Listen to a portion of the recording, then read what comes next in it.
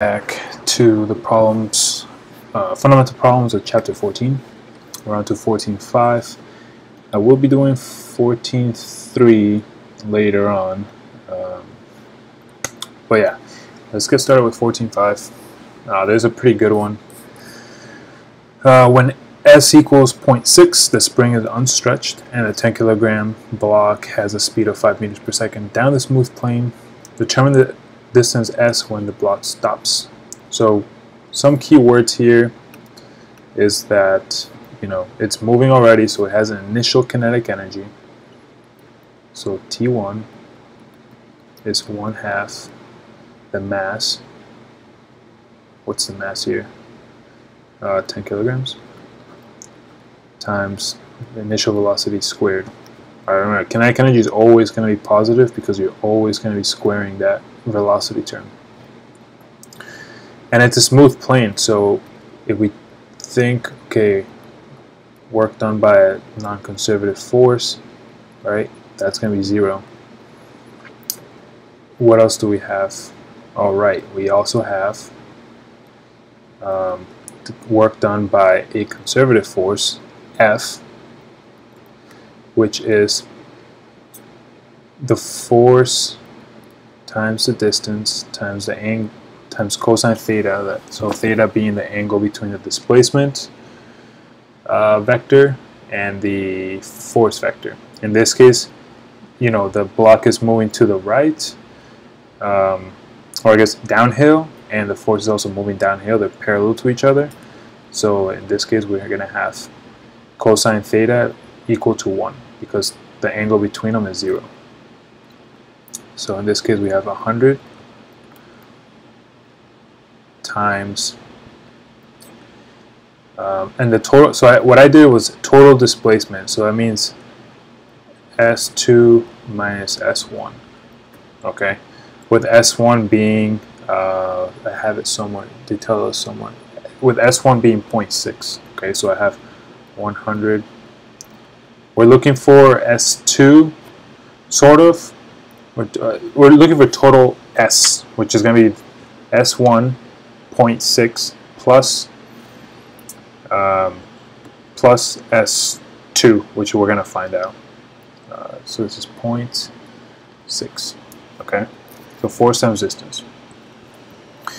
All right. Uh, what else do we have? We have a spring.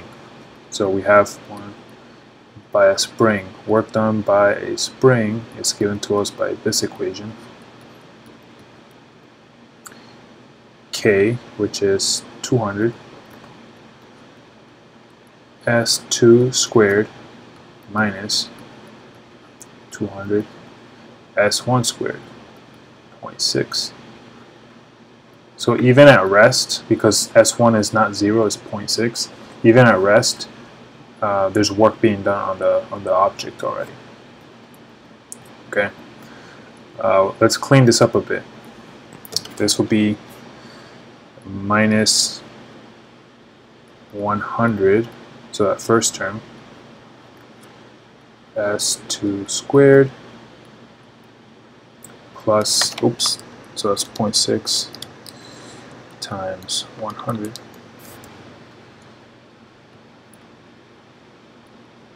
plus 36. Okay, so that's the work done by the spring. Alright, I think we're done. Nope, we're not done. Gravity is doing uh, some work here as well. So U12 by gravity, right, it's minus the weight times a change in delta y. Okay, this will be minus 10 times 9.81, so that's the weight, times, in this case I have, um, you know, let's let's just write it down here so I don't confuse everyone. So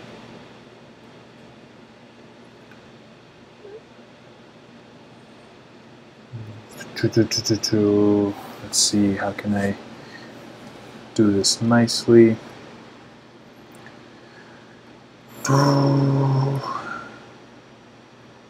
so this is so S1 okay? And S1 so let's look at this triangle initially. Okay?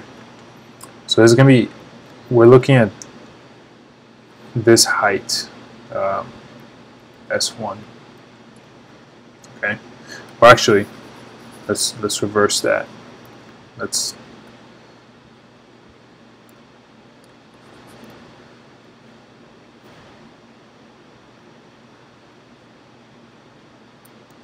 Oh, I can't even draw a triangle.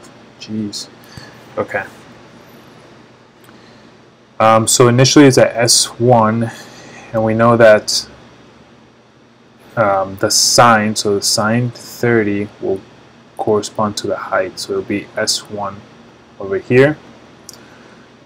And then, um, let's see, and then the next thing is when the object is, let's say, over here and that's when the determine the distance s when the block stops okay so let's say it's down here then this will be s2 sine 30 okay so what I did was you know, this this one, if we write it down, it's going to be y2 minus y1. Okay, well, it's going to be minus 10 times 9.81. y2 is going to be s2 sine 30. I'm not going to write the sine 30 because s1 also has a sine 30. So I just pull it out, just factor it out of the equation to simplify it a little bit. And that's the way I have it. Okay. And then let's go back up here and then say T2 is the final kinetic energy and this determine the distance s when the block stops. So T when the block stops, there's no kinetic energy. It's no it's not moving anymore. Okay. So at this point we're pretty much done with all the the work that's being done by the conservative forces and the non-conservative forces. Okay, so we have this term, we have this term, this term here, um, and this term. So we have four. Okay. So let's see. That's 5 times 25, that's 125. So T1 is 125. Okay, let's add up all our conservative, non-conservative work, or uh, work done by non-conservative and conservative forces. That'll be plus 100 S2 minus 0 0.6. Then we have minus 100 S2 squared plus 36 and then minus 98.1 S2 minus S1 is 0.6 sine I don't know why it's so laggy right now. Okay. Alright so that's the left hand left hand side of the work energy relationship work energy principle.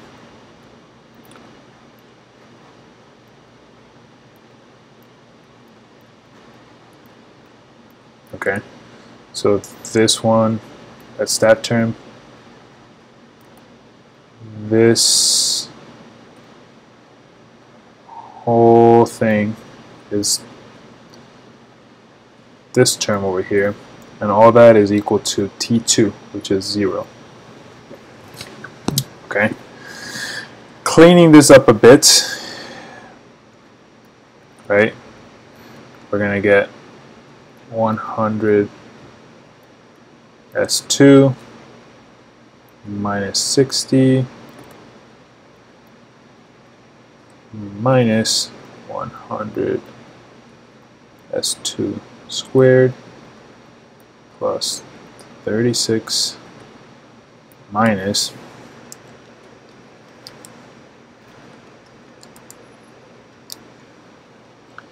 Forty-nine point zero five S two,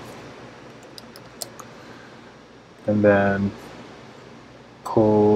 plus minus minus twenty nine point four three equals zero. Okay, so at this point, it's just you know algebra. We're gonna have to solve for S2. So there's gonna be a quadratic equation that's gonna look something like this. 100. When you simplify it, 198.1 S2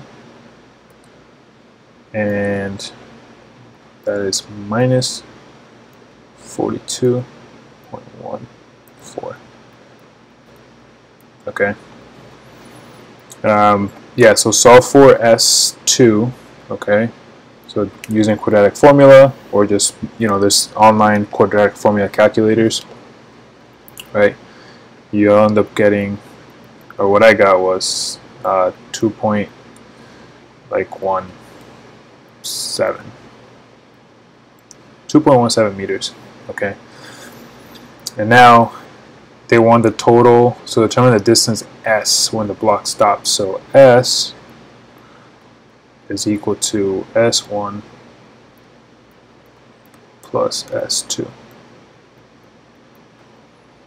The way and the, the reason I did it this way, solving for the quadratic formula stuff, because I can see that that's how most people try to tackle the problem.